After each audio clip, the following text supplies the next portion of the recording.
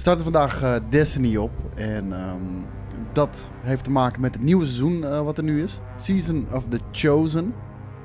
En ik weet eigenlijk vrijwel niets over Season of the Chosen. Ik heb me bewust een beetje afzijdig gehouden. Uh, dat heeft er dan weer simpelweg mee te maken. Ik ben een tijdje uit, uit Destiny geweest.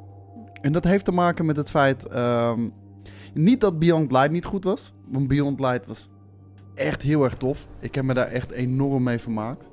Uh, maar Season of the Hunt was niet helemaal mijn ding. Uh, het was sowieso wel een, uh, een, een, hele vette storyline. Oh. War, want it or not, is all they understand.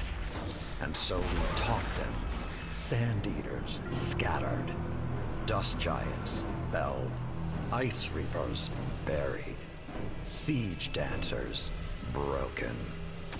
Until we grew complacent, and Gaul drove a blade between our ribs, left us gasping. Before the Vanguard showed them that the light cannot be tamed so easily. I should have stepped forward, stamped the Red Legion into extinction.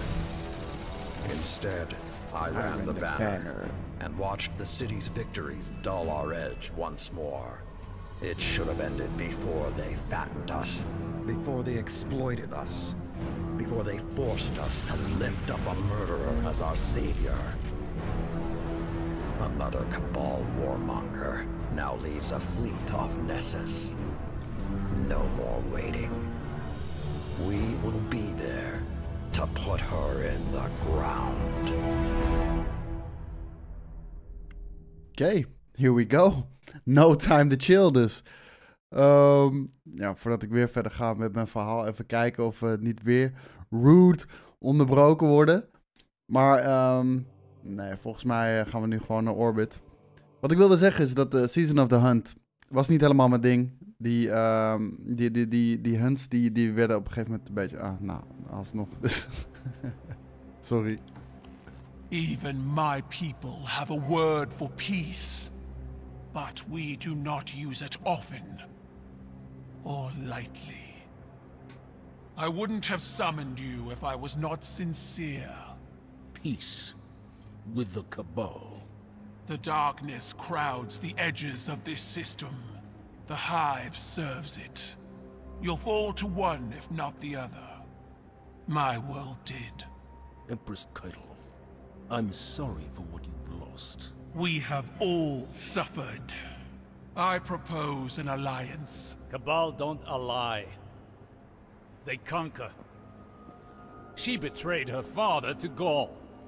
Don't think she won't put a gilded knife in your back, too. My father was soft. He lacked ambition. As you do. Humanity won't survive unless the Commander expands his horizons. Join my empire. You'll keep your title and gain a seat on my war council. With my army and your light, the Cabal will crush the Hive. Then, the Black Fleet. Bow. Excuse me? No.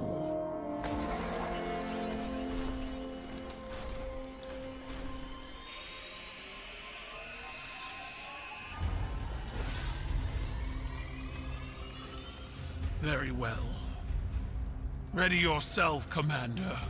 I'll sharpen my gilded knife and see you both on the battlefield.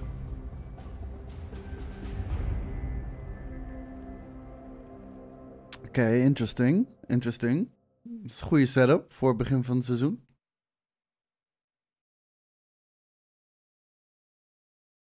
Kijk, nu zitten we in orbit. Wat ik wilde zeggen is dat uh, uh, de, die Ravborn Hunt, die werden gewoon op een gegeven moment een beetje repetitief. Dus uh, ik heb het losgelaten. Uh, ik heb gewoon een campagne afgemaakt. Dat was echt super tof. En ik ben benieuwd wat, wat dit nieuwe seizoen ons gaat brengen. Season of the Chosen dus. En het heeft met de kabaal te maken. En we zien hier een, ja, een, een warmonger. Een, een, een leader van de kabaal. En weer een nieuwe factie. En het lijkt erop alsof we gaan samenwerken.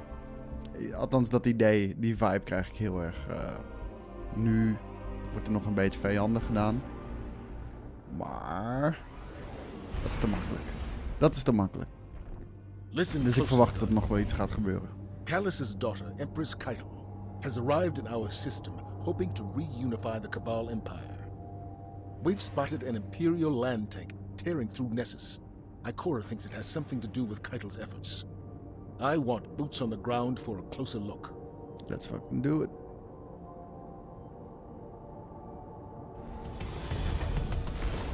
Maar Prince Aldrin was echt heel erg dope. Eh, de Hawkmoon Quest was vet. Maar het, eh, het hield me gewoon niet lang genoeg geïnteresseerd. Ik hoop eh, dat deze uitbreiding dat wel kan doen. Waar moeten we heen überhaupt? Ik zie hier iets liggen. Ammo, altijd goed natuurlijk.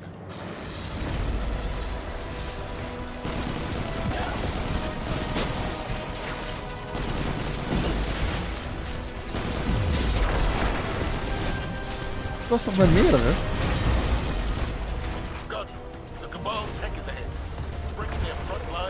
eyes on it. Oh, daar. Ik moet zeggen, we waren aan matchmaker. Oh, ik had niet eh, verwacht dat we al zo snel zouden, zouden moeten vechten tegen de kabaal.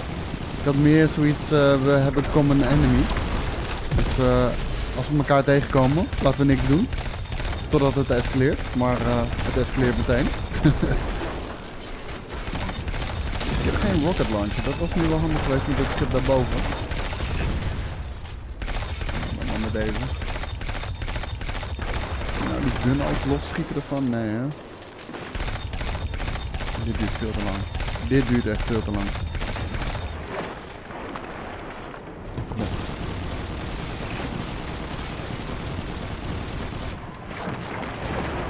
Misschien is het niet nodig.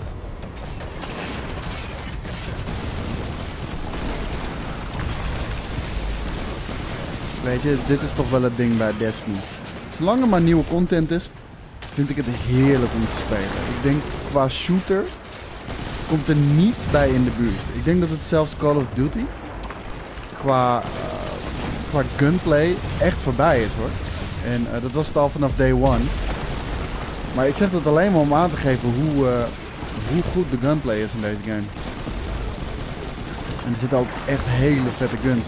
Ze, zitten ze zijn natuurlijk niet eh, gebonden aan, eh, aan de realiteit, zoals in Call of Duty dat wel is. Dus kunnen ze hier veel meer buck wild gaan. En dat komt de game alleen maar ten goede.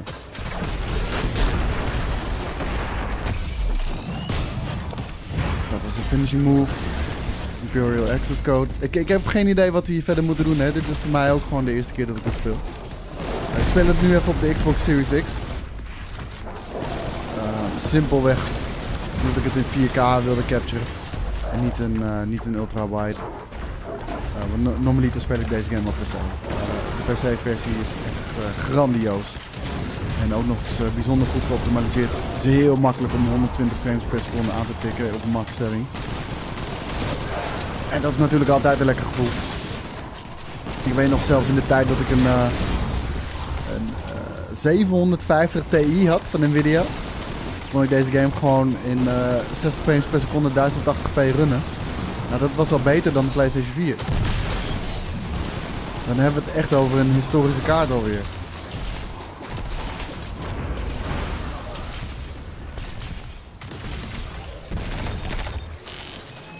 Met dit wapen, als je headshots maakt, dan komen er allerlei van die eh nanites eh, vrij. Siva heet het. En die doen echt heel veel splash damage nog. Is goed voor crowd control ook wel. Maar doet ook nog best wel gewoon eh, veel individuele damage.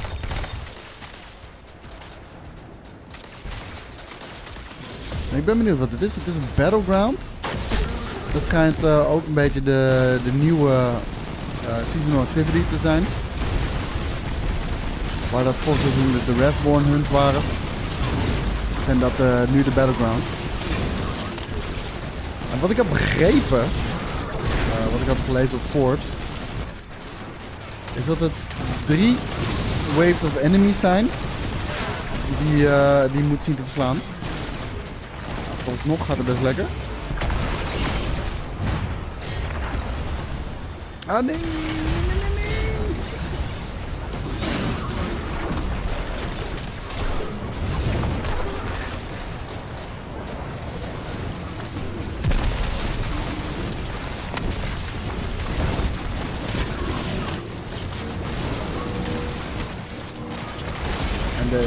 deze, deze gun trouwens, jongen. Dit is echt verreweg mijn favoriete combi. Outbreak Perfected. Samen met de Non, non Hunger. En dan qua, uh, qua heavy weapon maakt het mij niet zoveel uit. Ik heb nu een sword. Maar dat kan ook gewoon een, uh, een hele dikke rocket launcher zijn. Of een hele goede machine gun. Hangt maar net aan, uh, van de activity die ik aan het doen ben.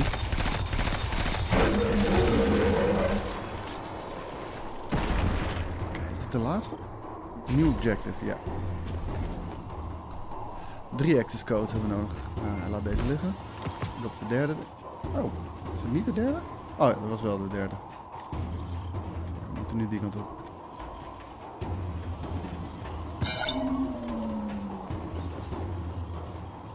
Level 1 character. Of zijn we allemaal weer level 1? Based on the field intelligence you recovered, We believe a former Red Legion commander is on site, directing from the ground. This commander was a mere legionary under Gaul's rule.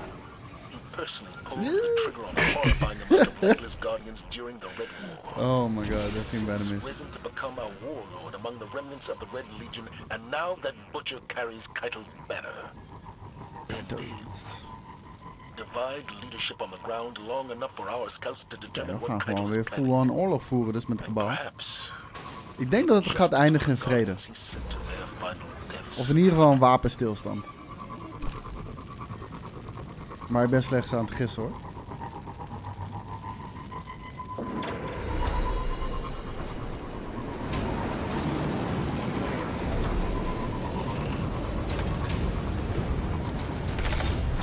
Zou dit dan de, de, de tweede... Uh, de tweede wave of enemies zijn?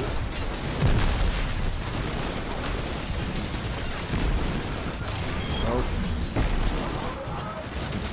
Die wapens van die Scions zijn zo fucking weird. Die uh, de lucht inschieten, zeg maar.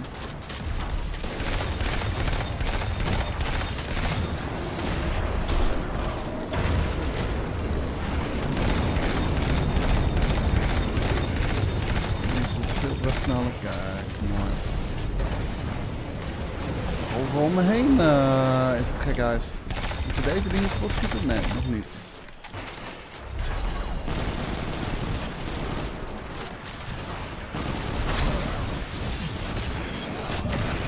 Toch altijd het begin van een nieuw, uh, van een nieuw seizoen.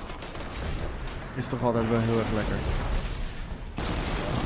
Ik smacht altijd naar meer content. En dat, dat, dat is een beetje het probleem met Destiny naar mijn mening toch uh, te veel een herhaling van, uh, van zetten. Kijk, wat moeten we hierin doen? That's not how you do it. Thanks, buddy. Thanks, buddy. Kijk, zolang je in mekaars back maar hebt, weet je wel. All Guardians just trying to get by.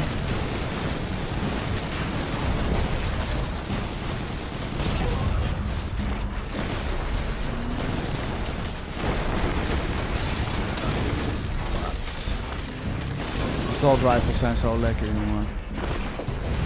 En gelukkig tegenwoordig ook weer een beetje useful. Er was echt een hele lange tijd in Destiny dat je echt niks meer aan, uh, niks meer aan de auto rifles had. Oké. Niet te dichtbij uh, wanneer iemand dat ding gooit. Kijk, toch. Nope.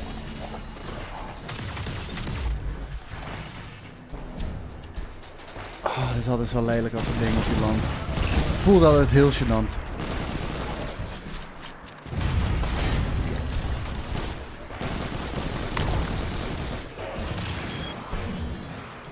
Oké, nu de laatste. Huh? Heb je die eerste gemist dan ofzo? Oké, dude. Je hebt net gezien dat ik daar dood ging, toch?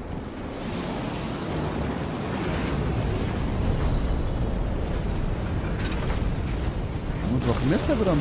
Dat weet ik ook niet. Kom op, kom op, kom op.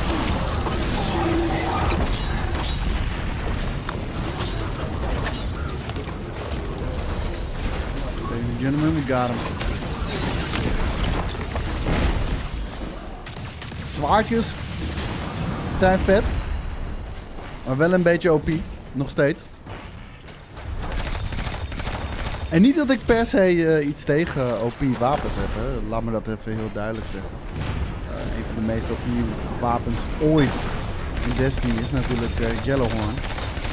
Maar dat was een legendarisch wapen. Daar kijk ik met alleen maar plezier op terug. Ondanks dat hij echt veel te overpowered was. Het was echt heerlijk als je hem dan, als hij dan dropte. Eh, was het de Vault Glass eh, raid? Ik geloof het wel hè. Ik kreeg hem bij de first run. Ik, eh, ik had zoveel mazzel. En ook echt een first run waarbij ik echt carried werd voor het leven.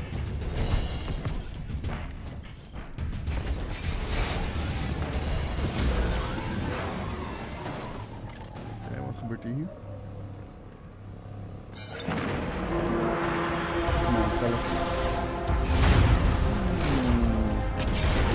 Er wel sick uit. We gaan hem pakken.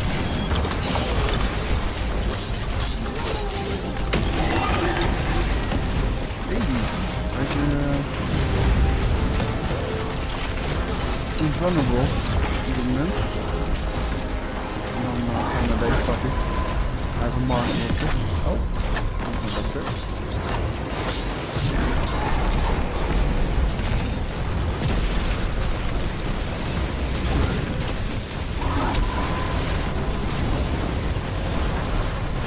Maar wat ik zeg, als je dit op PC speelt, tempo ligt wel man. Het was sowieso eh, best wel goed nieuws. Je kan nu je Vault managen, gewoon via de officiële app van, ehm, Destiny zelf. Dat was echt eh broodnodig. Die waren er wel eh, third-party applicaties, maar het is gewoon beter wanneer het vanuit Destiny zelf kan. En, niet te vergeten, cosplay moet dit jaar komen. Ik denk dat dat toch wel een hoop gaat doen voor Destiny. Ik heb best wel veel vrienden in de, in de, in de Destiny, eh, in de Destiny universum.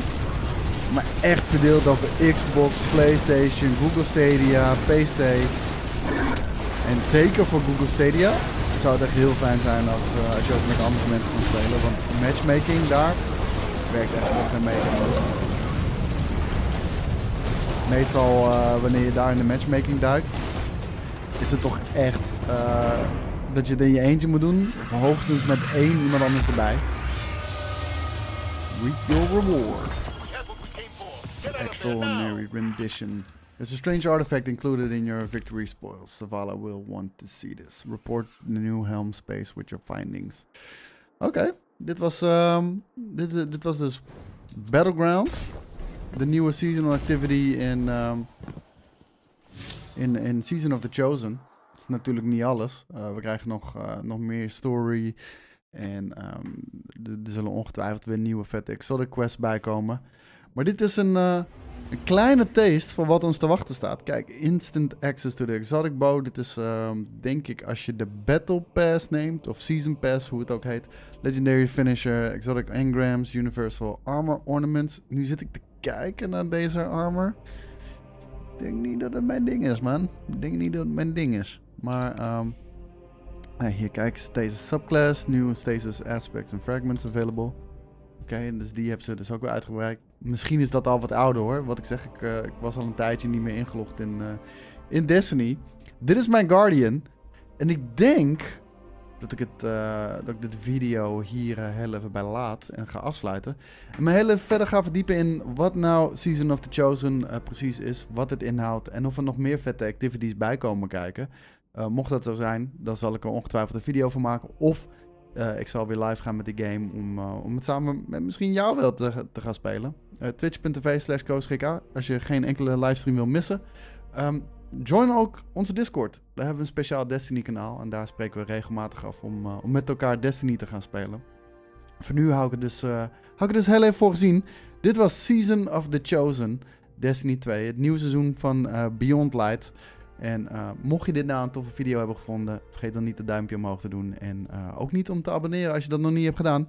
Voor nu bedank ik je alvast voor het kijken. En we checken elkaar de volgende keer. Later jongens.